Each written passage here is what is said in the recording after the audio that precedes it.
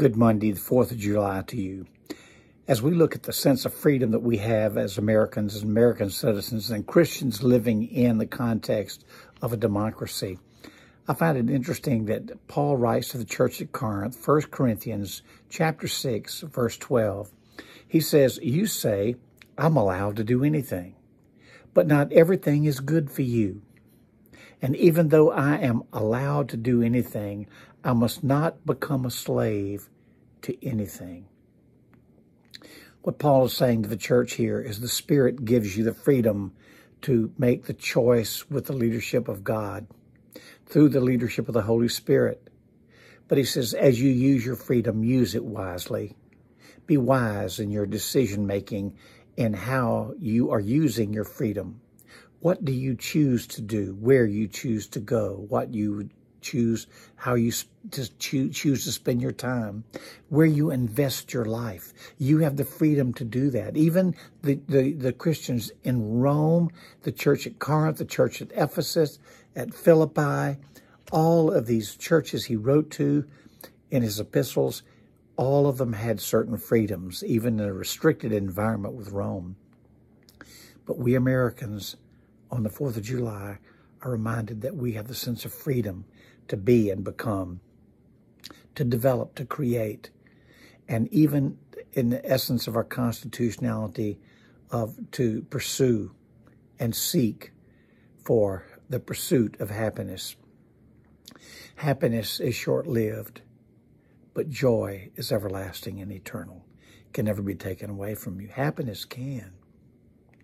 Happiness is on the surface where going to a ball game can make you happy.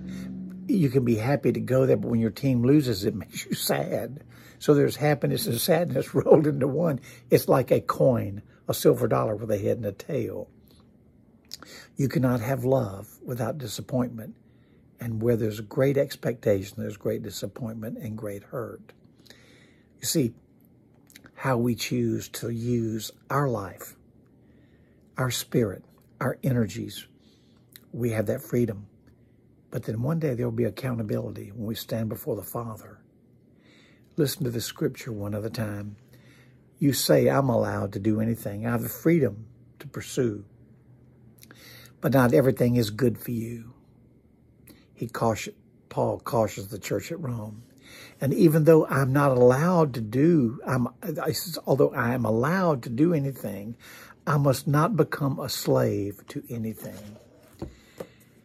He's saying you may choose to use your energies in certain areas, but do not allow your activity, your avocation, your hobbies, your passions to own you. You own them. Happy 4th of July to you. Use your freedom wisely. May you and your family celebrate the freedom God has given to you and through the Holy Spirit, but also the freedom that our country gives to all of us to celebrate this day. Pray with me. Father, we, we celebrate you because you are the author of freedom, of joy and contentment. It is through your Holy Spirit that we're, we're called to be your children, your sons, your daughters, and we're called to serve you with a grateful heart. We say thank you for this freedom the day that you've given to us, the country that you've blessed us in and with and also, Father, for the Spirit of God, the kingdom of God that liberates us beyond earthly freedom. Amen. God bless you. I'll see you on Tuesday.